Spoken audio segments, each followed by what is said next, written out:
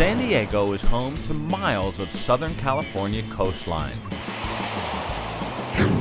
At the northern end is La Jolla. Today's unseasonably cool temperatures and a thick marine layer has kept the beach fairly quiet. The waves are small, there's no sign of San Diego's infamous rip currents, but another type of danger is lurking in the surf. Stingrays. The victim, a 13 year old surfer named Cole Kammerer, has just been stung badly by a stingray. Lifeguard Lance Mendoza was on patrol when he saw Cole being helped up the beach. We were just driving by Scripps, and poor Cole was, uh, he just come out of the water, uh, crying his eyes out. Oh, oh, God. What do you guys want to go with him? Yeah, Okay. Where's the boards at, you guys? I mean, it's basically equivalent of uh, like 10 to 15 bee stings at once. This is so bad. Definitely painful. It comes on hard, then, it's, then, it, then it starts creeping up your leg if you don't take care of it right away with hot water. There you go. Go sit on that bench over there.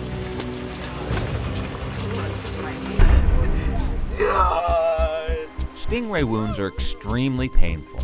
The only treatment is to submerge the area in extremely hot water, which breaks down the proteins and speeds in recovery. You guys had this. It's too hot. So first time, huh? And last, hopefully.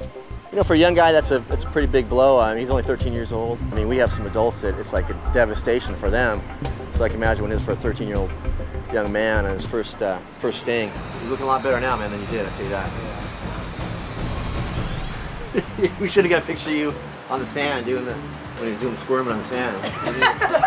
we should have got a picture of that, huh? the worst thing you do is, is talk about it and tell them how bad it is. I mean, if anything, we, we already know it's bad, but you gotta lighten it up a little bit. Keep it, you know, talk about something else. That, that's why having his friends starting jab on, and they're laughing, and he gets off of, off of thinking about it. Cole, you, you can so as long as you need. I mean, you, only, you can tell when you're ready to go, Cole, when you pull it out, and you don't feel that pain come throbbing back on you. The lifeguards are helpful. They they helped me get here and made me feel better. A little more hotter. Good. Okay. Hot as you can stand it without uh, scolding. It wasn't gonna be serious. That made me feel good. A few minutes later, the victim's father arrives to find his son in much better spirits. Nice. So how bad did it get in?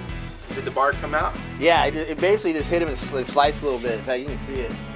Living here my whole life, um, all these lifeguards on California beaches keep the patients real comfortable and you know make them feel like uh, they're being taken care of, you know, right away. And uh, leaving our son here to go surfing by himself with a couple buddies, you feel safe having these lifeguards here to take care of him. Uh, yeah, just keep him in the hot water and uh, he can soak here as long as he wants. Lifeguard Southern California. Watch Thursdays at 9 only on the Weather Channel.